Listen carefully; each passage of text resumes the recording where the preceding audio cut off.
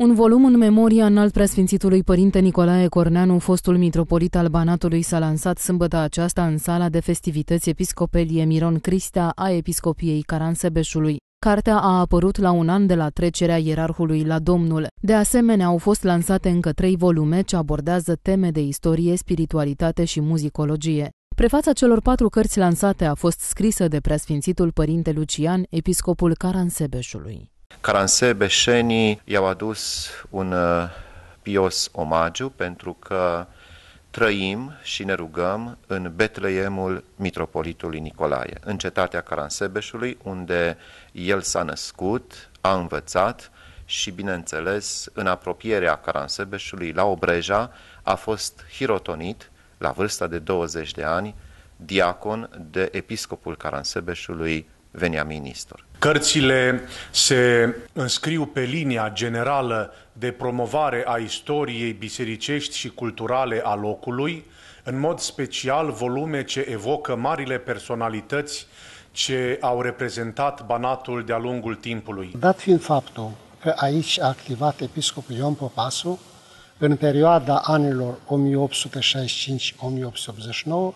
și Titu Maiorescu fiind nepotul său, care a venit în mai multe rânduri la Caransebeș, s-a apropiat de personalități de marcă ale orașului, istorici, teologi, literați.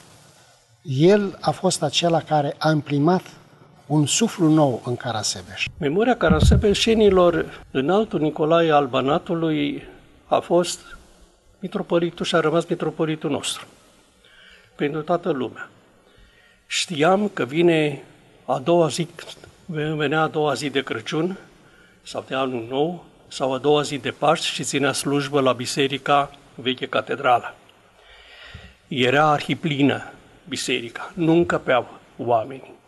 La ieșirea din biserică și pe drum îl însoțeau.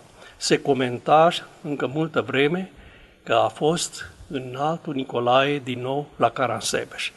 Și totdeauna spunea, totdeauna spunea că vine acasă. Celelalte trei cărți sunt Băile Herculane, Istorie și Spiritualitate, scrisă de părintele Constantin Cilibia, Titu Maiorescu și Banatul a părintelui profesor Vasile Petrica și De la predecesori la contemporani, scrisă de profesorul universitar Dumitru Jompan. La lansarea celor patru volume au fost prezenți preoți din municipiul Caransebeș, oameni de cultură, istorici și elevi seminariști.